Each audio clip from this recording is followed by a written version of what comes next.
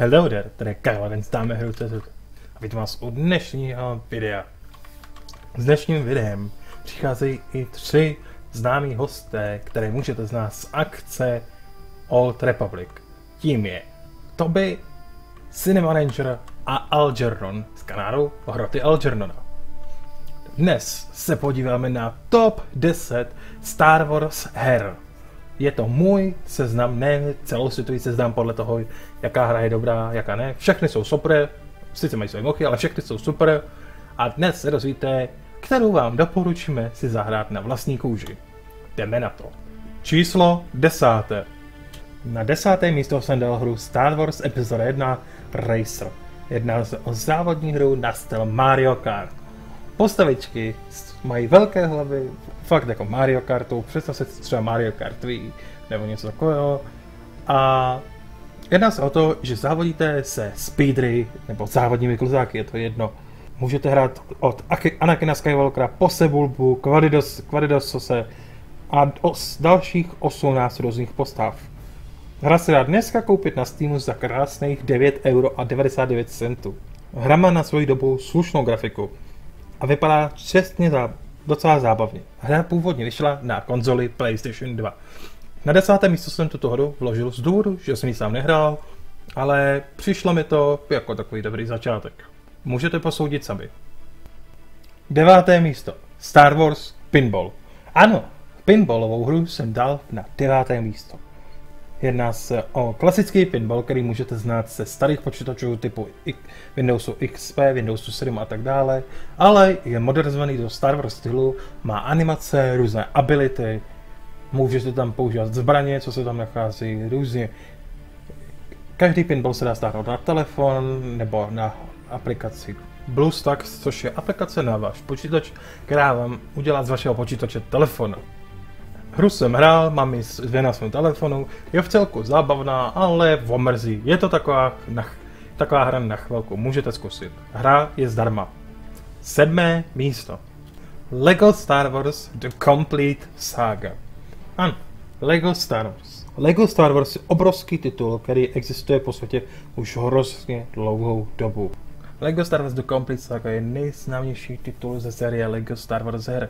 Vyšel 6. listopadu 2007 pod, od společnosti TT Games na platformě PlayStation 4, Android, Víčko, PlayStation 3, Xbox 360, Nintendo DS, Mac, iOS, Windows a různé další počítačové a grafické hry, programy, přes si můžete spustit tuto hru. Hra obsahuje přes 300 postav, 100 vozidel, od tank, od znášedel, stíhaček, speedrů, volkru. Jsou tam mise od epizody 1 po epizodu 6. Každá sekvence, nebo epizoda obsahuje 9 díl, 9 částí, pokud se teďka nepletu, buď 9 nebo 6, teďka si přesně nejsem jistý, můžete mi napsat do komentáře sekce. A titul je velmi zábavný. Je to asi druhá Star Wars hra, co jsem kdy hrál. Přejdeme na další bod. Pokud jste si říkali, kdy přijdou hostové, přijdou právě teď. Podíváme se na šesté místo, které nám řekne Algernon. Nazdar nerdi, tady Algernon z kanálu Hroty. Star Wars Knights of the Old Republic nebo také zkráceně KOTOR je dodnes moje nejoblíbenější herní série ze světa Star Wars. První díl z roku 2003 je dodnes legendární. Pokud jste nikdy o KOTORech neslyšeli, ale hry jako Dragon Age a Mass Effect vám nejsou cizí, tak tohle bylo první RPG BioWareu na tento způsob, ze které obě jejich vlastní značky vznikly.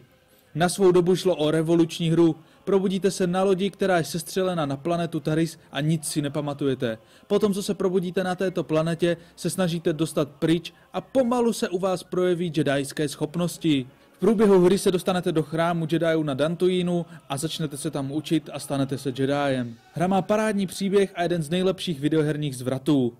Kotor bylo perfektní RPG, měli jste zde posádku na své lodi a vždycky jste si sebou mohli na proskoumávání planet jako třeba Dantuin nebo jiné vzít dva členy z vašeho týmu, vaší posádky kde se dali plnit hlavní i vedlejší úkoly, které byly strašně zábavné a záživné. To bylo na hře opravdu přelomové, byly dialogové možnosti a skvěle napsané postavy.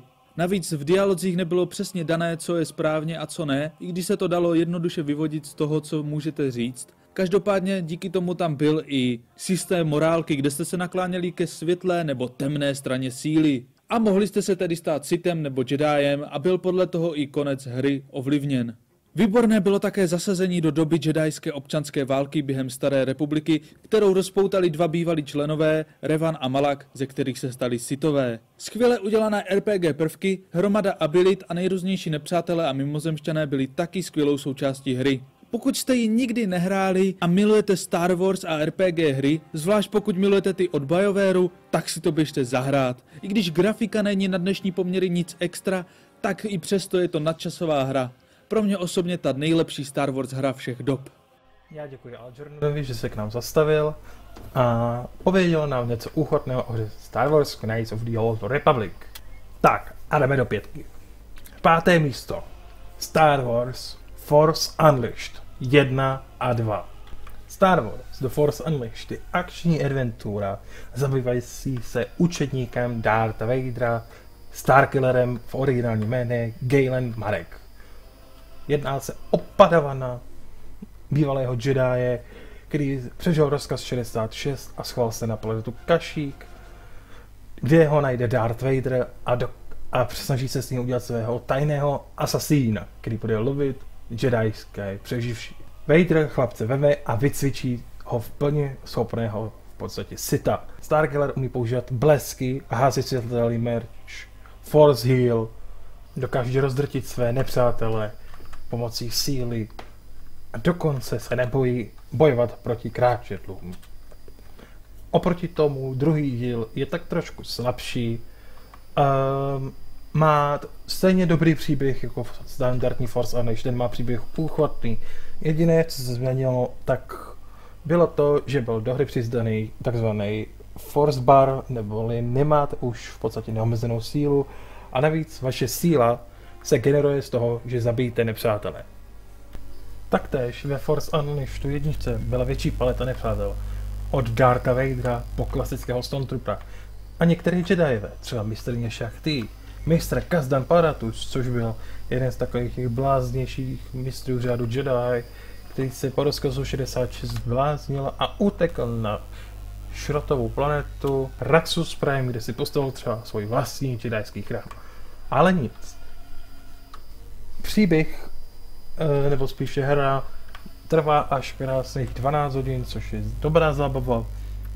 Postfighty jsou zábavné a dokonce, pokud by vás nezajímala moc hra, ale jen samotný příběh, Phoenix Pro Dubbing udělal celou, celý první díl v českém dubbingu nadabovaný na YouTube, můžete se v klidně podívat. Čtvrté místo. Na čtvrté místo jsem si pozval dalšího ze svých přátel. Dámy a pánové, představuje si vám Cinema Ranger a hra Star Wars Battlefront 2 od EA z roku 2018. Zarazil já jsem Cinema Ranger a dneska si něco povíme o hře Star Wars Battlefront 2. Tato hra vyšla 17. listopadu 2017 a sleduje Aiden Versio, velitelku speciálních jednotek Imperia jménem Interno Squad, poté co byla svědkem zničení druhé hvězdy smrti, se rozhodne, že pomstí císaře, ale přidá se na stranu rebelů. Tato hra vyplňuje prostor mezi epizodou 6 a epizodou 7. Máme tady hodně postav, zahrajeme si například i za Luka Skywalkera, princeznu Leu nebo Landa Calrissiana a nabídne i hodně lokací, Podíváme se na známé planety ze všech filmů a i seriálů, jako jsou například Clone Wars. Tato hra má i také multiplayer, do kterého pravidelně přidávají nové updaty. Máme tady například updaty z filmů eh, Last Jedi, Rise of Skywalker nebo dokonce Solo, Star Wars Story, dokonce i Rogue One a dokonce i ze seriálu Klonové války. Eh, co je asi největší problém této hry je, že ta kampaň je hodně krátká a vlastně jediný tak kvůli čemu si tu hru koupit, tak je ten multiplayer a to právě je blbý, protože třeba na Playstationu si to musíte k tomu koupit PlayStation Plus a pak také samozřejmě je to hra od EA, takže to má mikrotransakce. Takže díky, že jste koukali a zatím čus. Třetím místem máme tady dalšího hosta. Dáme pánové, představuje si vám Toby z kanálu Toby.cz a hra Star Wars Jedi Fallen Order. Dobrý den dámy a pánové, já jsem Toby a řeknu vám tady dneska nějaké informace o hře Star Wars Jedi Fallen Order. Nejspíš všichni znáte, ale trochu vám ji představím v rámci tohoto videa. Takže hra vyšla v roce 2019, vytvořilo ji studio Respawn Entertainment a vydala ji nechválně známá společnost EA. Naštěstí ve hře nejsou žádné mikrotransakce. Je to akční Star Wars hra s příběhem, která popisuje příběh Jedi Kala Kestise a bývalé jedajské mistrně Siriundy, kteří se společně pokusí obnovit starý řád Jedi pomocí jedajského holokronu, který se snaží získat. Samozřejmě se jim v tom snaží zabránit Imperium, Inkvizitoři a dokonce se na konci potkáte i se samotným Darth Vaderem. Tahle ta hra je rozdělená do několika lokací, ke kterým se můžete vrátit později a vždycky je tam co hrát, protože můžete to objevovat různé nové věci, různé nové secrety a celkově se můžete vracet k tomu danému prostředí několikrát a hru dohrát na 100%. Hra má hodně zajímavé herní mechaniky, postupně si vylepšujete schopnosti, máte tak klasický strom dovedností, který známe například z RPG, jako je Skyrim nebo Witcher, a postupně získáváte levely zabíjení přátel, postupně si vylepšujete schopnosti síly, vylepšujete si lightsaber a tak podobně. Mě osobně tato hra opravdu bavila, už ji mám dávno dohranou a rozhodně doporučuji si ji zahrát. Jenom je docela drahá, takže si počkejte na nějakou tu slevu, ale myslím si, že to je Star Wars zážitek, který stojí za to vyzkoušet. No a nyní předám slovo dalšímu, který se účastnil tohoto videa. Kurva, nevím, kdo to je. To vystřihni. Čau. Já děkuji mu za účast v tomto videu a samozřejmě všem ostatní a přejdeme na bod číslo 2. Star Wars, X-Wing, X-Wing vs. TIE Fighter a X-Wing Alliance jsou jediné Star Wars simulátory, co se k nám dostali za celou dobu. Pokud nejde, co je Star Wars simulátor? Star Wars simulátor je takzvaný letecký nebo prostě celkový simulátor vozidel ve Star Wars. Ať je to buď právě první hra z tohoto žánru, neboli TIE Fighter z roku 92, nebo pokračování X-Wing z roku 93, anebo X-Wing versus TIE Fighter z roku 94. Nejmodernější je samozřejmě X-Wing Alliance z roku 1999, což je plně schopný simulátor, hrají ho dodnes. Tady ty hry měly svůj vlastní level design, byly těžké, byly lehké. Samozřejmě koukám na eskortní mise, bože můj, to bylo strašné. Hru hraju dodnes, mám ji namodovanou, strašná zábava, akorát je velký problém, ke hře musíte mít buď joystick, anebo herní ovladač, co se dá sehnat počítači. Nejsou tak dobře graficky zpracované, jako třeba Battlefront nebo Jedi a Fallen Order. Hry jsou od toho, aby fungovaly, což je super. Můžete zde manageovat sheety, můžete zde aktivovat ochranné cíle proti raketám, můžete ovládat svého astromechanického droida, abyste mu řekli, co chcete na své lodi opravit. Taktéž můžete koukat na strategie, jaké používá Imperium, jaké používají rebelové. Zalétat se si z více než dohromady nějakými 50 stroji. Myslím ne v jedné hře, ale teďka dohromady. Ano, v TIE Fighteru byly 4 stroje, byl to TIE Fighter, TIE Interceptor, TIE Advance a TIE Defender. Ještě tam byl, myslím, tak Bomber. V X-Wingu to byl X-Wing, A-Wing, E-Wing a B-Wing. A X-Wing vs. Alliance tady bylo od X-Wingu po pirátských šroťáky, imperiální lodi a korvety. Já jako s tou hrou mám velmi dobré vztahy, já jsem milovník simulátoru, takže já za sebe vám fakt můžu doporučit. A jdem do finále. První místo. Star Wars, Dark Forces, Jedi Knight, Jedi Academy a Jedi Outcast. Jsou Star Warsové příběhové hry zabažené do post epizoda 6, neboli už dneska bohužel do legend, a hrajete za Kyla Katarna, což je takzvaný šedý Jedi, který byl cvičený samotným Lukem Skywalkerem a sám přešel bohužel později i na temnou stranu síly.